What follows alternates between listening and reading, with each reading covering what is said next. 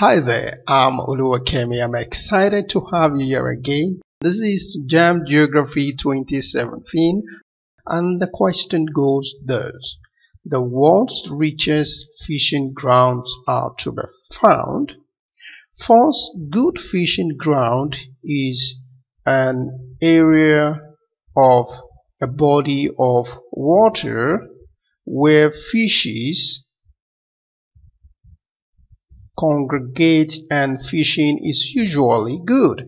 Okay, so let's go to the given answer option. Option A says on the deep sea platform. The deep sea platform does not show a characteristics of a rich fishing ground. Okay. Good. There are some characteristics that the fishing ground should possess for it to be a very uh, rich source for fishing. Okay. Option B in coral seas. This also does not possess that strong characteristics. Okay. Option C on the continental shelves. Geographically speaking, a continental shelf is simply the part of the continent that extend underwater to the break to the shelf break.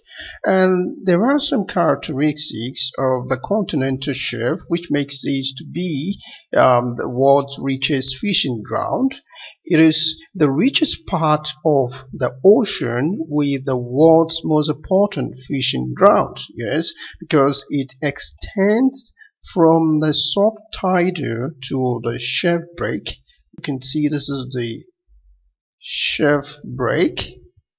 The outer edge of the continental shelf where the depth drastically increase. Okay as you can see. All right.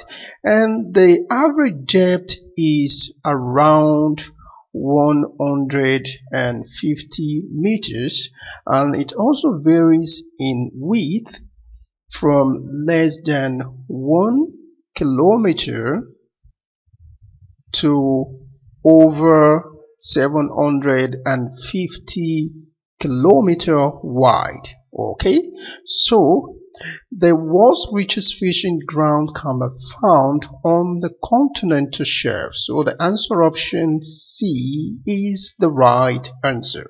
Thank you for watching. See you in the next video. Bye-bye.